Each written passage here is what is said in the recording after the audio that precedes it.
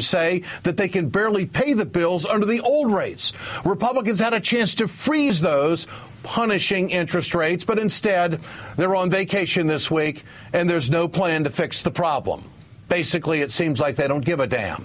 Joining me tonight, someone who has been fighting this interest rate hike, Senator Bernie Sanders of Vermont. Senator, great to have you with us tonight. Why do we have it the way it is? Why is this jump going to 6.8%? What happened here? It's part of legislation. We extended, I believe it was for two years, uh, the subsidization of the Stafford loan program, keeping it at 3.4%. That expires tomorrow. Rates go up to 6.8%.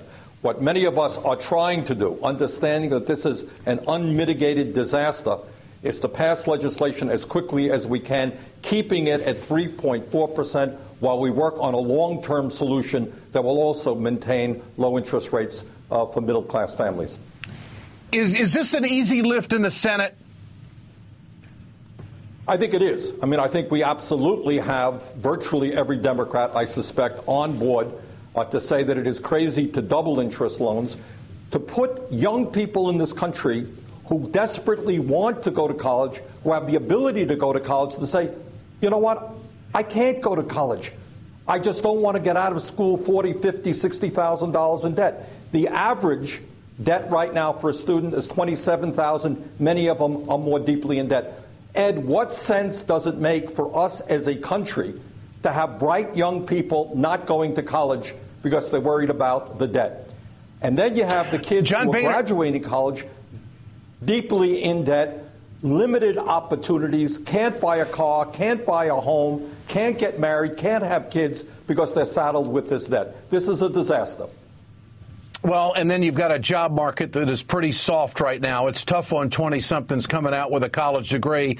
And, you know, the average uh, debt now, I believe, as you said, it was in the uh, over 20,000. It almost robs people of the American dream of owning a home someday. It, they get started in their careers too late. Now, John Boehner says the Republicans passed a student loan bill and the Democrats are dragging their feet. What do you know about this over on the House side?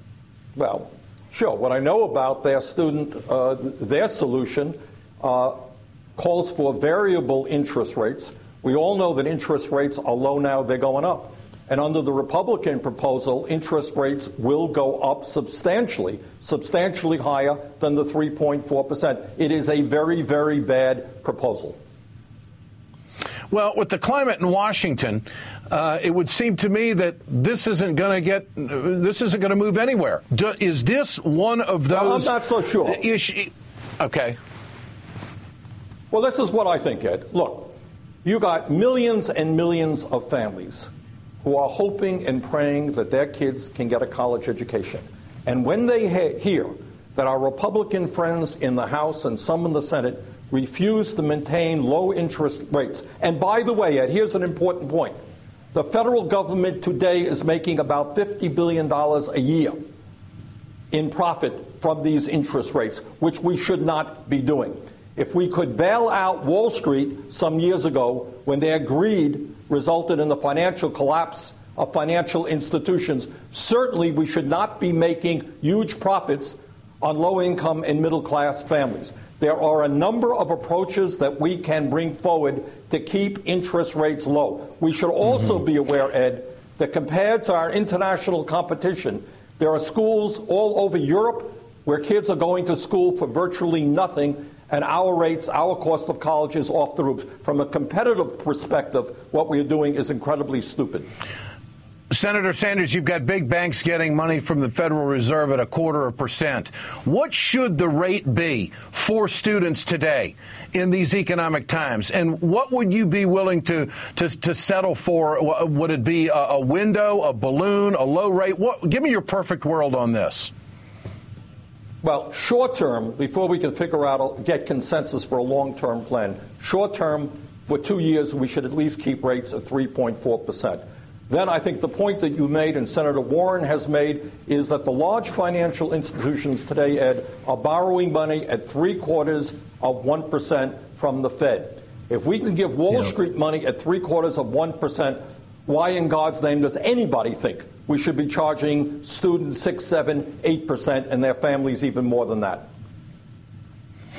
Senator, great to have you with us tonight. I appreciate your time. Thanks for coming on the Ed Show. Thank you so much. Keep up the fight, my friend. Bernie Sanders.